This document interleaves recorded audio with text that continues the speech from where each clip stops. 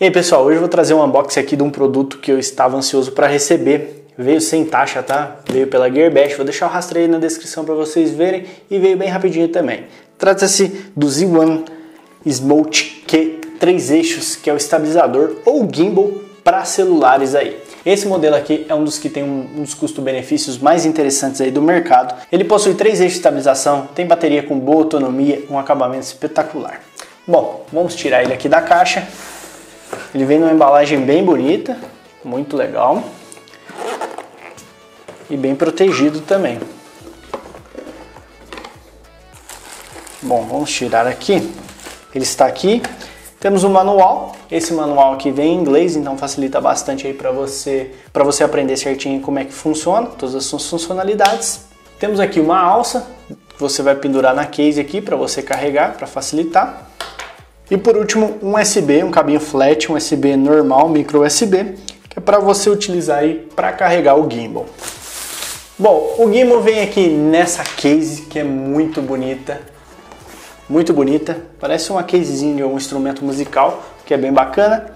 Aqui nós temos o logo da marca e vamos abri-la.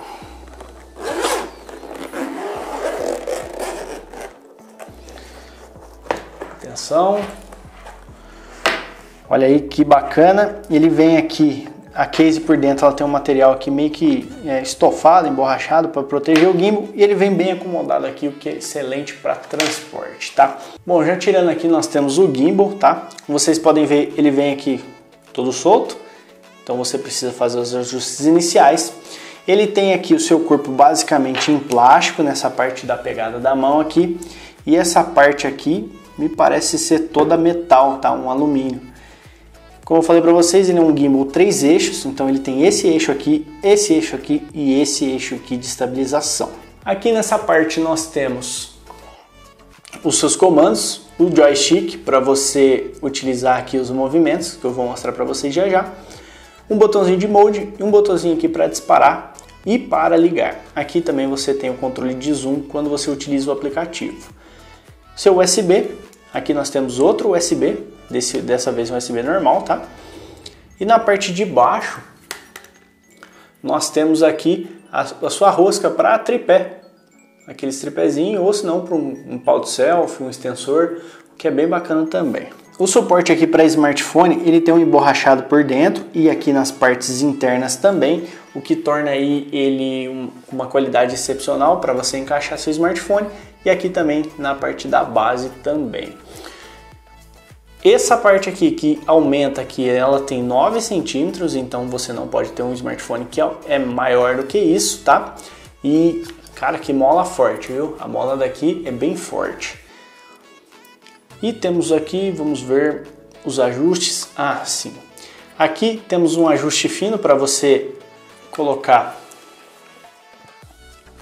para você colocar o seu celular tanto deitado aqui no gimbal quanto em pé. Então, ó, você desencaixou, rosqueou, girou, você vai conseguir utilizar seu celular deitado ou se não, seu celular em pé, tá? Isso daqui é extremamente útil, principalmente para quem gosta de fazer um stories aí no Instagram, WhatsApp, esses vídeos que precisam estar com o celular em pé, tá? Neste lado aqui nós temos um ajuste fino, porque quando você colocar o celular você vai precisar balancear o gimbal então é um ajuste mais fino aqui, é só desrosquear e puxar que ele vai fazer um ajuste. Bom, vamos colocar o celular aqui para a gente ter uma noção melhor. Vou utilizar aqui o meu Honor V10.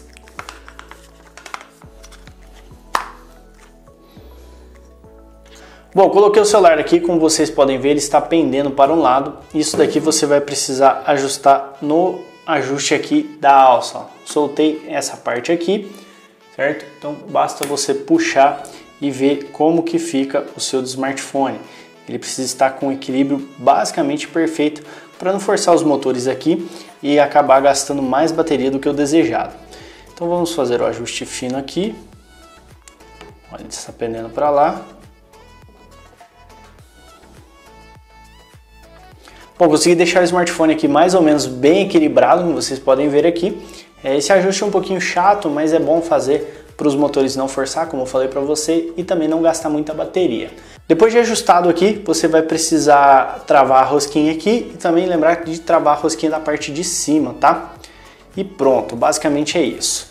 Agora você vai ligar o gimbal, é, pressionando aqui o botão de ligar. Pronto, ele já vai ativar o gimbal, olha aí, já está ativado, como vocês podem ver. Lembrando que esse gimbal aqui tem três modos de utilização, você pode utilizar aqui o botão Mode para utilizar esses modos. Então, o primeiro modo vai ser o modo suavização. Então, por exemplo, se eu estou com o smartphone aqui ó, e viro, ele vai virar mais suavemente, entendeu? E acompanhar o lado que eu quero filmar. Então, se eu vou para lá, ele vai virar para lá, se eu viro para cá, ele vai virar. Então, vai acompanhando de acordo com para onde eu direcionar. Outro modo que você apertando novamente aqui o botão Mode vai ser o modo estabilização total, onde você vai virar aqui e ele vai ficar reto. Ó. Posso virar para qualquer lado aqui, o gimbal está reto. Ó. Lembra que eu, na, na, no modo anterior eu virava, ele acompanhava de modo suave para lá e dessa vez não, ele simplesmente trava aqui na posição. Eu posso fazer o que eu quiser, que o gimbal não vai deixar o, o celular acompanhar para onde vai o meu movimento. Então, o que é bem interessante, você pode descer, ó, aqui no caso ele desce, mas se você vir aqui, normal, para frente, para trás, vai ficar basicamente bem estável. Lembrando que no modo anterior, no qual ele acompanha, que é o suavizado, onde ele vai suavizar os movimentos que você fizer, você só controla o gimbal nessa posição, para cima, para ele virar, e para baixo através do joystick aqui. Então, para cima e para baixo.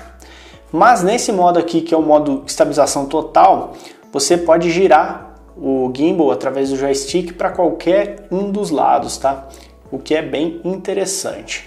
Lembrando que esse joystick ele tem uma precisão bem legal, no qual você simplesmente pode virar rápido desse modo ou ir virando suavemente, ó. Ele tem um nível de precisão que você consegue girar devagarinho, ó. Veja lá.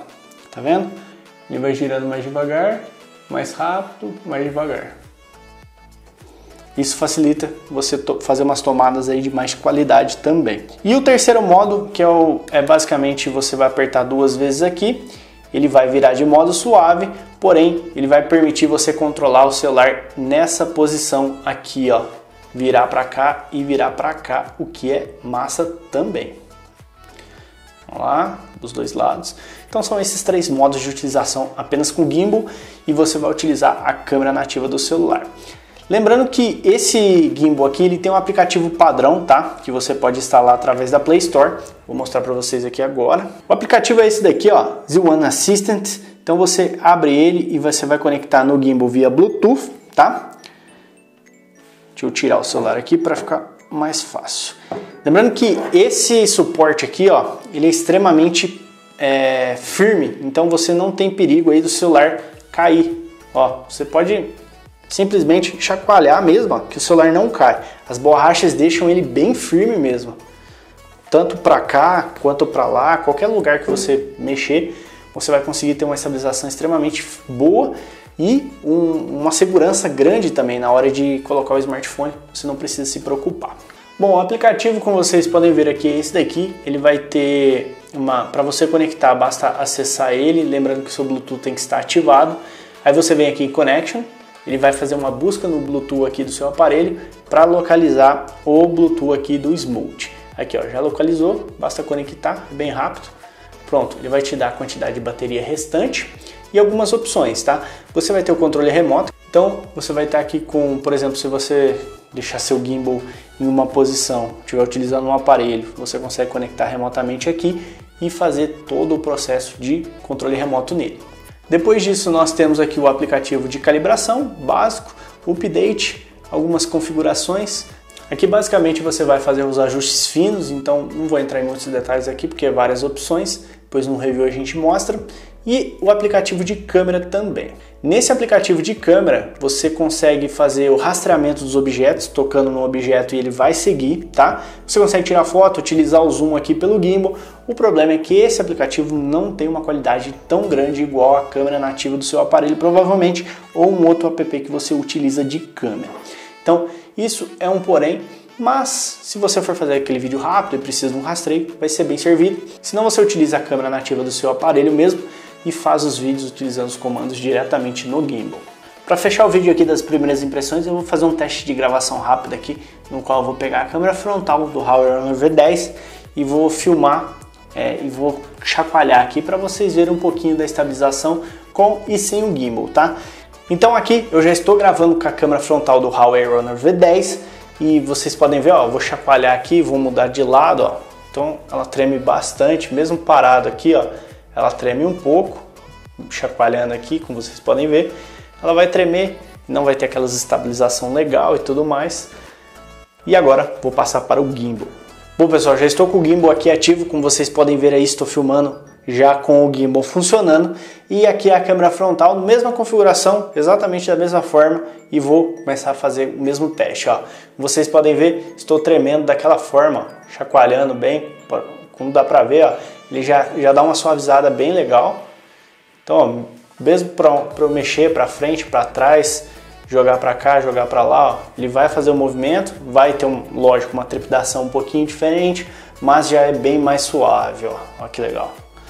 Então já não é da mesma maneira que você gravar diretamente com o celular, né? O que é bem bacana. Vamos falar a verdade aí, é top, né? Olha lá. E aí pessoal, eu tô fazendo um teste aqui de gravação com o gimbal, tá? Enquanto eu caminho aqui, para vocês verem a estabilidade. Eu tô num terreno aqui que é estrada de terra, então é bastante irregular, tem uns buracos e tudo mais. Então vocês podem ver a estabilização da, que a câmera tem com a utilização do gimbal.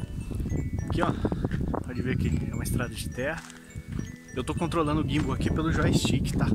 Então eu consigo mostrar um pouco mais para baixo, subir ele um pouquinho mais e ir caminhando até trocar de mão, ó, pra vocês verem como fica a estabilização. Bem bacana, ó. Se eu virar, o modo que eu tô com o gimbal, ele mantém aqui, ó, aonde a câmera estava focada. Então ele vai ficar aqui. Então eu tenho que virar e jogar o joystick aqui para o lado para ele acompanhar aqui. Mas é bem simples, a posição do joystick é, é, muito boa e muito preciso também. Então você vai conseguir sem problemas aí é, utilizar o direcional do gimbal e também gravar ao mesmo tempo. Então esse gimbal você vai encontrar lá na Gearbest, o valor dele está aí mais ou menos por volta de 400 reais, o que é um valor extremamente baixo se a gente for levar em consideração que é um gimbal que tem bom acabamento, estabilização de três eixos e tudo mais. Então eu acho que vale bastante a pena.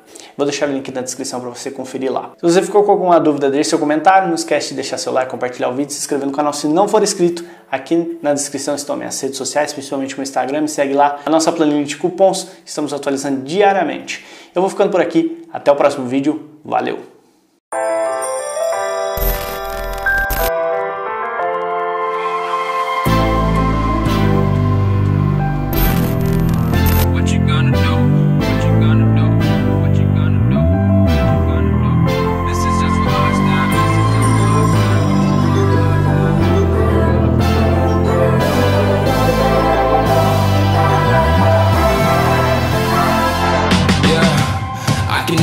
Never find the right words. And there's no way this is real life.